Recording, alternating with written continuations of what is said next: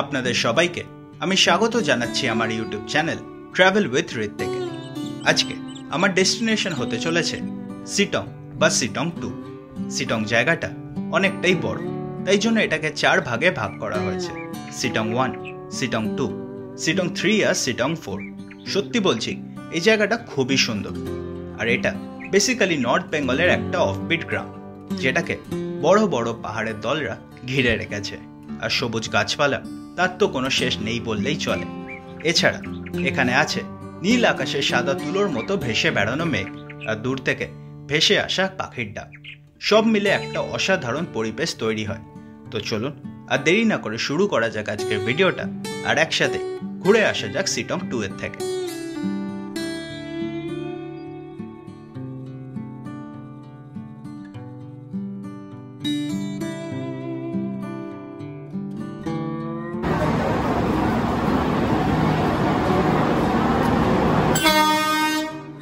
জার্নিটা আমি শুরু করলাম শিয়ালদা রেলওয়ে স্টেশন থেকে।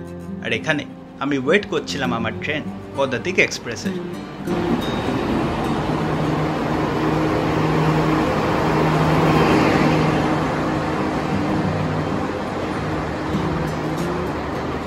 তো রাতের অন্ধকারকে সাথে নিয়ে ট্রেন ঠিক তার রাইট টাইমে শিয়ালদা রেলওয়ে স্টেশনকে বিদায় জানিয়ে রওনা দিল এনজেপি স্টেশনের উদ্দেশ্যে। রাতের অন্ধকারে কিছুক্ষণ আমি বাইরের দৃশ্য উপভোগ করছিলাম, কিন্তু এর ফাঁকে কখন যে আমার চোখ লেগে গেল, আমি নিজেও টের পেলাম না। পরের দিন সকাল, তখন ঘড়ির কাটায় সকালে সাতটা। আমি চলে এলাম ট্রেনের দরজার সামনে, আর দরজা থেকে উঁকি মেরে দেখি, ট্রেন আঁকা বাঁকা পথ ধরে ফুল স্পিডে এগিয়ে চলেছে এনজেপি স্টেশনের উদ্দেশ্যে। সত্যি বলতে, ট্রেন অলরেডি পঁয়ত্রিশ মিনিট মতো লেট হয়ে গেছে, আর এই লস টাইমটাকে মেক আপ করার জন্য ট্রেন ফুল স্পিডে এগিয়ে চলেছে এনজেপি স্টেশনের উদ্দেশ্যে। আর আমিও বাইরের এই দৃশ্য দেখতে দেখতে এগিয়ে চললাম আগের দিকে।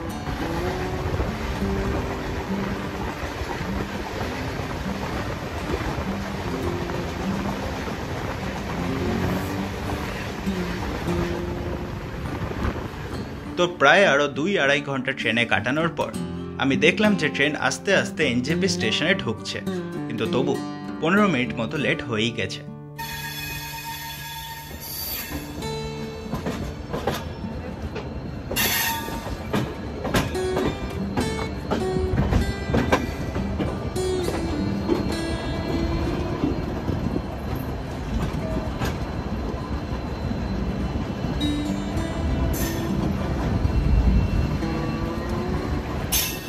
তো এনজেপি স্টেশনে তো এসে পৌঁছেই গেছি। আর এইবার স্টেশনের ভিড় ঠেলে আমি এগিয়ে যেতে লাগলাম স্টেশনের বাইরের দিকে।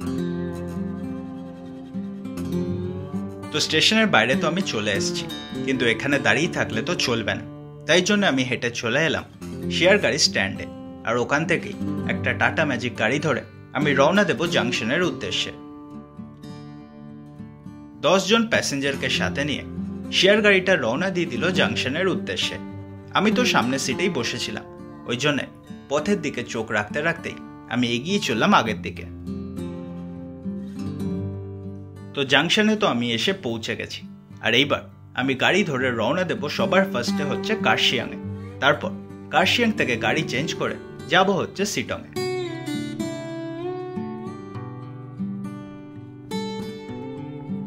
শিলিগুড়ি জাংশনকে পেছনে ফেলে রেখে গাড়ি যখন শুকনা এসে পৌঁছালো, আমি দেখলাম পথের দুধারে দৃশ্য আস্তে আস্তে পুরোটাই পাল্টে যেতে আরম্ভ হলো।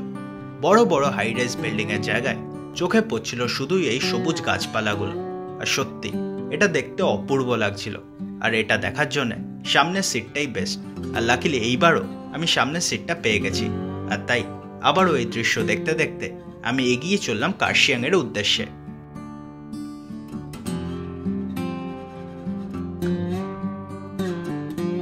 বড় বড় গাছপালা দিয়ে ঘেরা রাস্তা ধরে আমার গাড়ি তো এগিয়ে যাচ্ছিল আগের দিকে। আর এই দৃশ্য দেখে আমার মন সত্যি আনন্দে ভরে গেছিল। কিন্তু এই আনন্দটা দ্বিগুণ হয়ে গেল যখন পথের ধারে উকি দিতে আরম্ভ করল এই বড় বড় পাহাড়ের দলরা। আমি অনেককেই বলতে শুনেছি, ডেস্টিনেশনের থেকে জার্নিটা বেশি সুন্দর হয়। এটা যারা বলে, একদম হান্ড্রেড পার্সেন্ট ঠিকই বলে।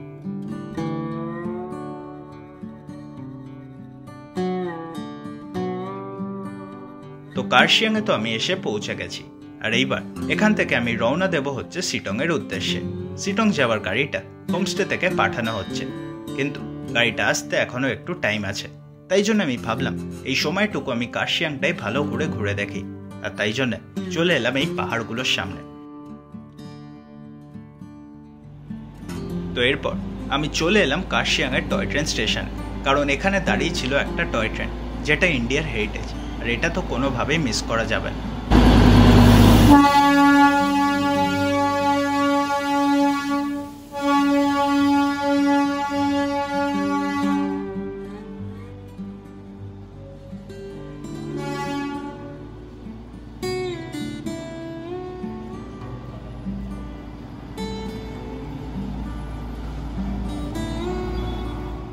তো টয় ট্রেনটা তো আমি দেখছিলামই, আর এর ফাঁকেই হোমস্টের পাঠানো গাড়িটা চলে এসছে। আর হোমস্টের দাদা নিজেই আমাকে পিক আপ করতে এসছে। আর আমি এই গাড়িটা ধরে রওনা দিয়ে দিলাম কার্শিয়াং ছেড়ে সিটংয়ের উদ্দেশ্যে।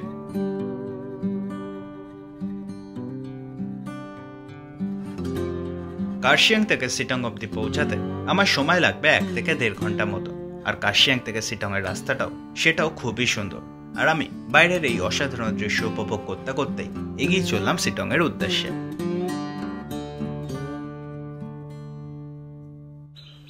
তো অনেকটা বড় জার্নি করার পর আমি ফাইনালি চলে এসেছি আমার ডেস্টিনেশনে সিটং টু বা সিটং আর এখন আমি চলে এসেছি আমার হোমস্টের সামনে। আর এইবার আমি হোমস্টেতে যাব আর আপনাদের সবাইকে রুম ট্যুরটা দেব।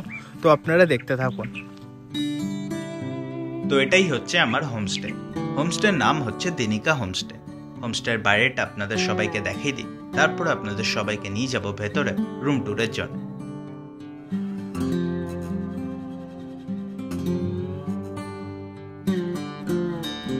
তো যেমনটা আপনারা দেখতেই পাচ্ছেন, আমি তো এবার চলে এসেছি আমার হোমস্টের ভেতরে। আর এটাই সেই রুমটা, যেখানে আমি দুদিন থাকব। যেমনটা আপনারা দেখতেই পাচ্ছেন, রুমটা সত্যি খুবই সুন্দর, আর বেশ বড়, আর পুরোটাই অথেন্টিক স্টাইলে তৈরি করা কাঠ দিয়ে। যেমনটা পাহাড়ের লোকেরা জেনারেলি থাকে। কিন্তু এই রুমের থেকেও বেশি আমার পছন্দ হয়েছিল হোমস্টের সাথে অ্যাটাচ ব্যালকানিটা যেখান থেকে একটা অসাধারণ ভিউ দেখা যায়। এই হোমস্টের সব ডিটেলস আমি স্ক্রিনে আর ডিসক্রিপশনে দিয়ে রাখব আপনাদের সুবিধার জন্য। আপনারা চাইলে আপনারা এটা বুক করতে পারেন।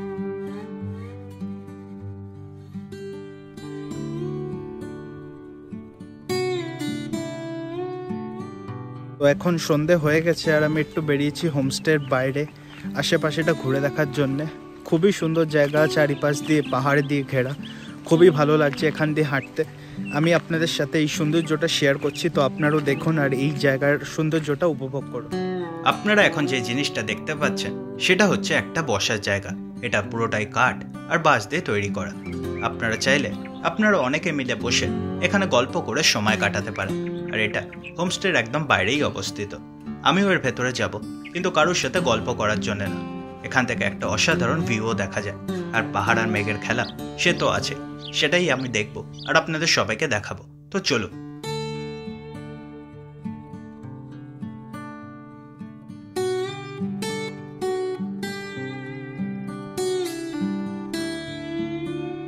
তো পাহাড় আর মেঘের অসাধারণ খেলাটা দেখে নেওয়ার পর আমি আবার পায়ে হেঁটে আগের দিকে এগিয়ে যাচ্ছিলাম।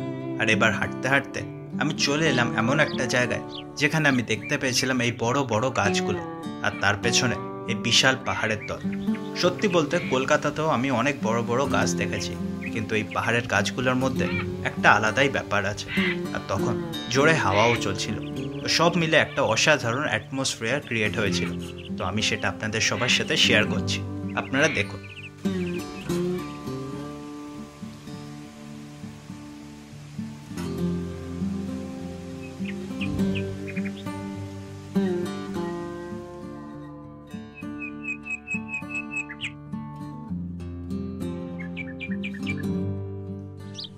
বিকেলবেলার টাইমে এইখান দিয়ে হাঁটার এক্সপিরিয়েন্সটা সত্যি অসাধারণ। এই রাস্তার দুধারে শুধু সবুজ গাছপালাই আমার চোখে পড়ছে। সত্যি খুবই ভালো লাগছে।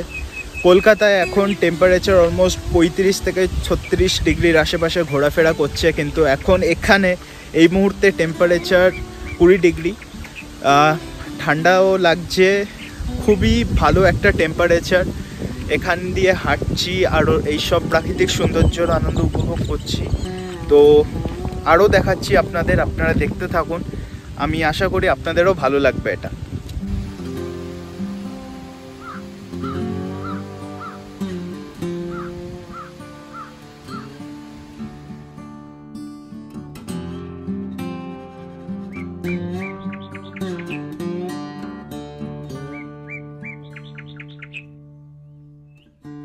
এই বড় বড় গাছগুলোর মধ্যেই আমার চোখ চলে গেল এই গাছটার ওপরে এটা চেষে গাছ না, এটা হচ্ছে পাইন গাছ, আর এটা শুধু পাহাড়ি এলাকাতেই পাওয়া যায়।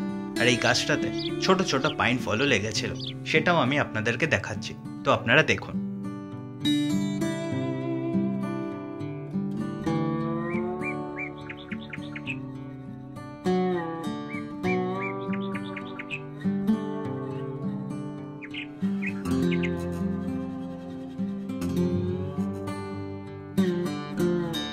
তো এই বড় বড় গাছ আর পাহাড় দুটোকেই ভালো করে দেখে নিয়ে আমি আবার আগের দিকে হাঁটতে আরম্ভ করলাম। আর তখনই আমার চোখে পড়ল কিছু অসাধারণ পাহাড়ি ফুল গাছ।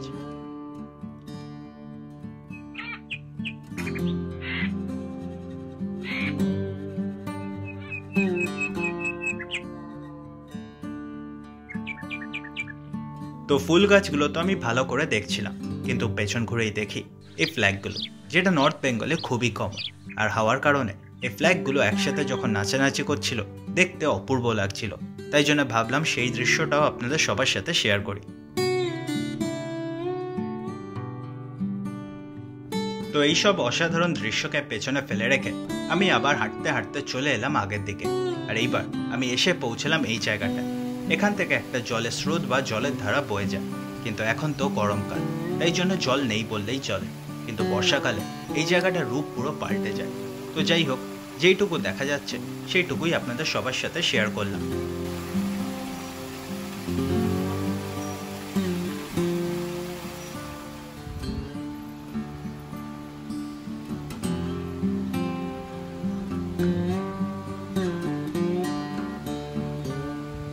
তো এই জায়গাটা ভালো করে ঘুরে নেওয়ার পর আমি আবার চলে এলাম সেই বসার জায়গাটার সামনে। এখন তো প্রায় সন্ধ্যা হয়েই গেছে আর যে কোনো সময় অন্ধকার হয়ে যাবে। তাই জন্য আজকের মতো লাস্ট টাইমের জন্য দিনের আলোতে পাহাড়টা ভালো করে দেখে নিলাম।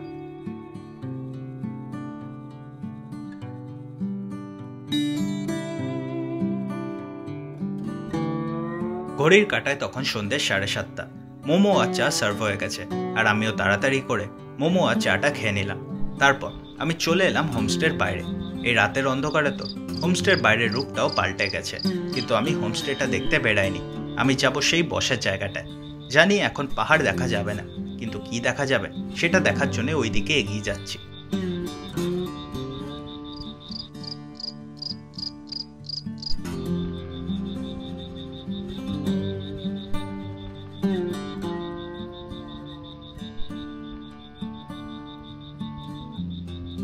এখান থেকে পাহাড় দেখা যাচ্ছে না ঠিকই, কিন্তু পাহাড়ের গায়ে যে ছোট ছোট আলোগুলো টুনি লাইটের মতো চলে আছে, সেইগুলো দেখতেও অপূর্ব লাগছে।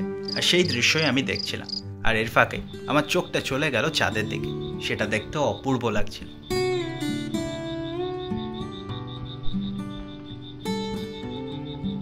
রাতের অন্ধকারে বেশিক্ষণ সময় আমি বাইরে একা কাটালাম না। তাই জন্য এই দৃশ্য দেখেই আমি ফিরে এলাম আমার হোমস্টেতে। আর এইভাবে আমি আমার সিটংয়ের প্রথম দিনটা শেষ করলাম।